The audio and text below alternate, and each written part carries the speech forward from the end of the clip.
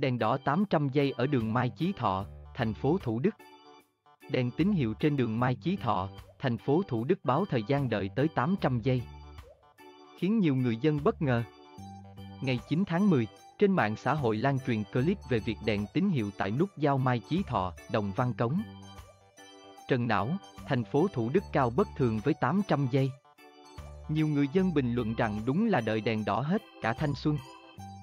Đặc biệt, khi đèn tín hiệu báo hiệu gần hết thì đèn liền chuyển tiếp về 800 giây, đèn đỏ, khiến nhiều người dân ngao ngán. Về vấn đề này, Trung tâm Quản lý điều hành giao thông đô thị thành phố Hồ Chí Minh xác nhận có tình trạng trên. Theo trung tâm, nguyên nhân dẫn đến tình trạng này là do lỗi bộ ổn định đèn, hiện tình trạng này đã được xử lý xong. Trung tâm Quản lý điều hành giao thông đô thị thành phố Hồ Chí Minh cho biết hiện nay trên địa bàn thành phố Hồ Chí Minh các đèn xanh đỏ vàng hoạt động bình thường theo thời lượng đã cài đặt sẵn.